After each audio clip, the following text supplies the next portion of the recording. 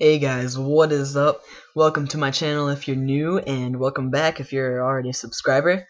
Thanks to the few people that subscribed in the past few days, we're really close to 70 subscribers, which is um, pretty close to our um, next goal of 75. So uh, I'd love it if you'd click that subscribe button if you're new, and or click that like button.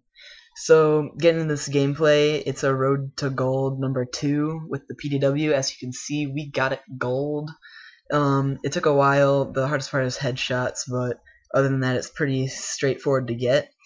And um, one other thing, we're kind of close to 5,000 video views, and I'd like to think that two of my semi-previous episodes, uh, not really episodes, but two of my previous videos got more than 300 views as of right now and it should have 400 or more in the near future.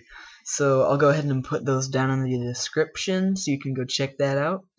Um, the PDW I'd say is the best submachine gun the only reason that the MSMC is not better is because the PDW has such a large magazine and you can just like spray all you want all day long. It's ridiculous. Um, I'd usually use either the laser sight, the grip, or silencer. Any combination of those usually works out great. And to get this gun gold, you have to get 150 kills without any attachments and then 150 kills without any perks. I'd usually just do no perks and no attachments at the same time just to knock that out real quickly. And it only takes, um, I'd say like an hour to get both of those. I mean, if you're a great player, maybe like half an hour. It took me uh, like four or five games. So it's pretty simple to get for gold, the hardest part is headshots, unless you're doing like snipers or shotguns. I'd say the hardest part for those is getting the bloodthirsties, which if you don't know, that's a five kill streak.